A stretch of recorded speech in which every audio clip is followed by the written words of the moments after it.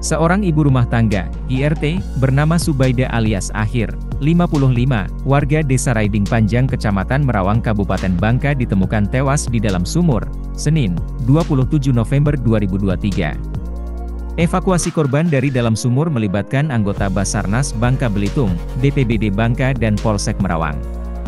Kronologis kejadian bermula saat seorang warga langganan korban Subaida datang bermaksud untuk membeli anak ayam untuk dijual kembali. Namun saat pelanggan tersebut memanggil tak ada sahutan. Kemudian mencari kebenaran Subaida dengan memutar ke belakang rumah. Curiga melihat ada beberapa barang di dekat sumur kemudian melihat ke dalam sumur. Saat itu ia melihat sesosok tubuh di dalam sumur. Kemudian menginformasikan ke warga lainnya terkait hal tersebut. Pihak aparat setempat kemudian menghubungi BPBD Bangka dan bersama tim Basarnas Bangka Belitung dan anggota Polsek Merawang mendatangi lokasi untuk melakukan evakuasi. Selanjutnya jenazah Subaida dievakuasi keluar sumur.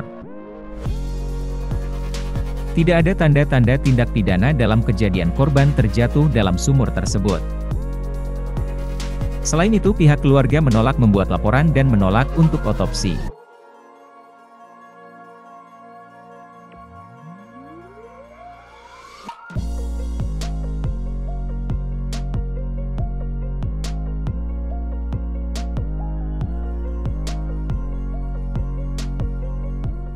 Download Tribun X sekarang.